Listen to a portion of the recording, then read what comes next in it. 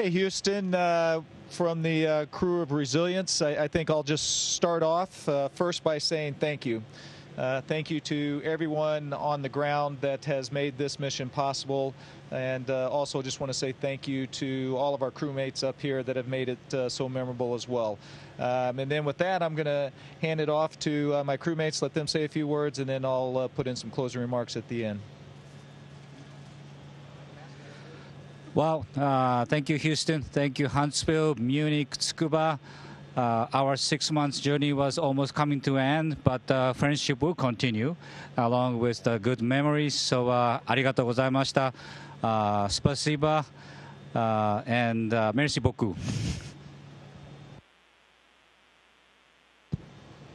Diana, Lord willing, I'll be seeing you soon. Genesis, Maya, Joy, Corinne, mom, dad, stepmom, my little brothers. Um, I look forward to, to being with you physically in person soon. It'll be awesome. Um, to the ground team, it's been great working with you, for you. Uh, it, has been an awesome adventure. Uh, it truly is a privilege to work and to live here. And, and being able to do both makes this just a really unique um, uh, experience.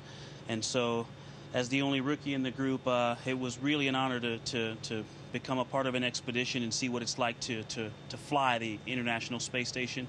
And um, I think 165-ish uh, or so days was, was uh, it flew by. It has really gone by quickly, and um, I'm grateful for, for every day of it. Thank you to everybody on the ground, and uh, I hope, borrowing from our commander here, our, our Dragon commander, that I hope uh, we worked very hard to get ready for this mission, and I hope we made you proud. Thank you.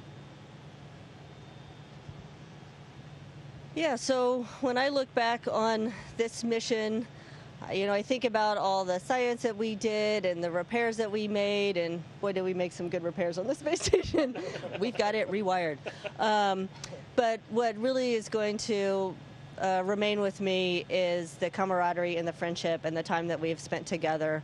Um, the laughing that we do over dinners, the uh, movie nights that we have had have truly made this very special. So, always thanks to everybody on the ground. Um, clearly we can't do this without you.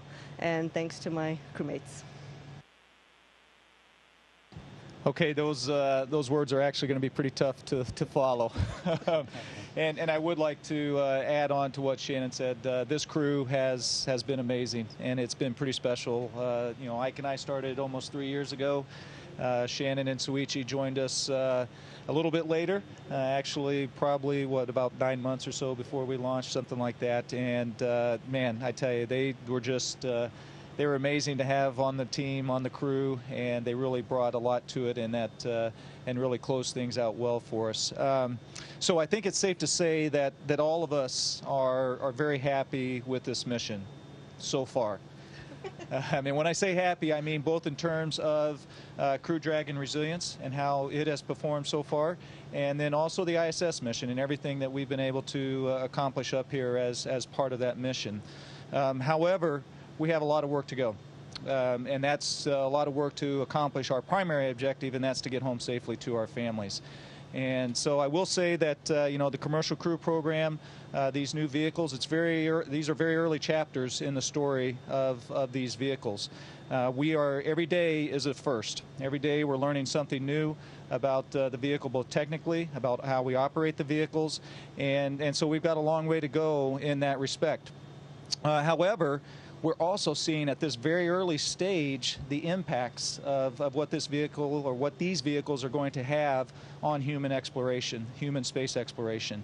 Um, and so you can see that in terms of uh, how it's enabled the science on board the, the space station here by having more crew members on board. The amount of science that we've accomplished over the last uh, six months is, uh, I think, truly incredible. The amount of maintenance we've mentioned as well, uh, the spacewalks is, has just been has just been incredible.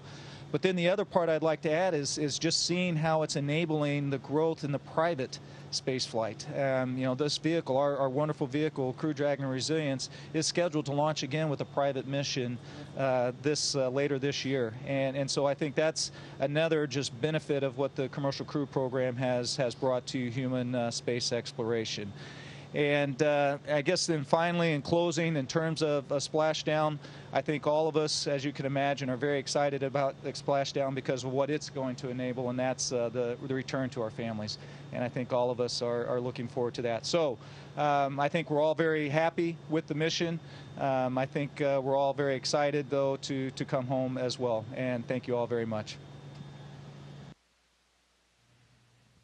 Station. This is Houston ACR. Thank you. That concludes our event.